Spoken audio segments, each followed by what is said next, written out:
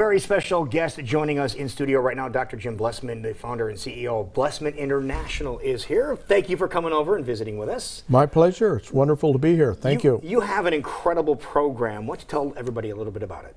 We are missionaries in the country of South Africa. We've been there about 15 years, and we have many, many Iowans come over and visit us. Uh, this year, we surpassed 1,000 guests that have come and done service projects with us. And when people come, uh, they help us with our feeding program.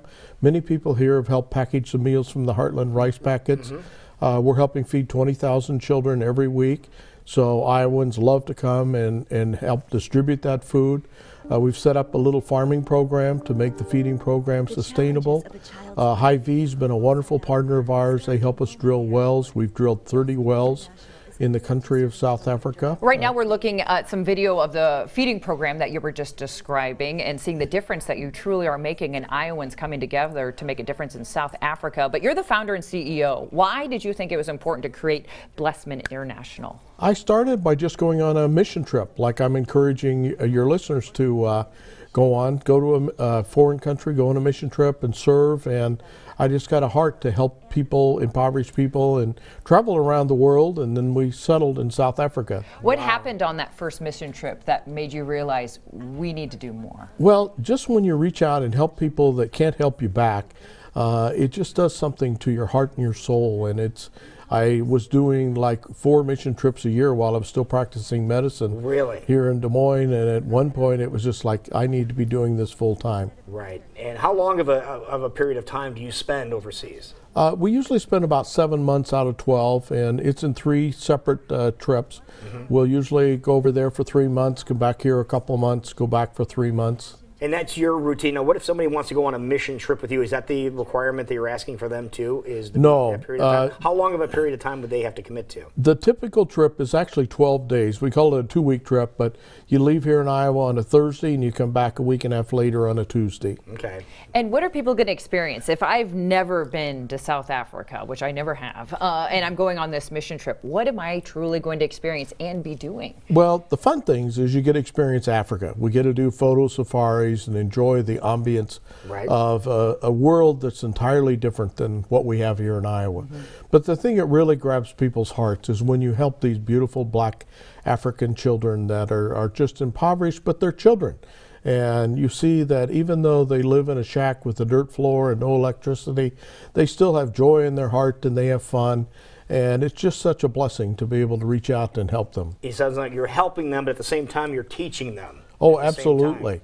Our feeding program, we started feeding them, and to make it sustainable, we developed an agricultural program, and now we're teaching them how to uh, do agriculture and set up gardens in their schools.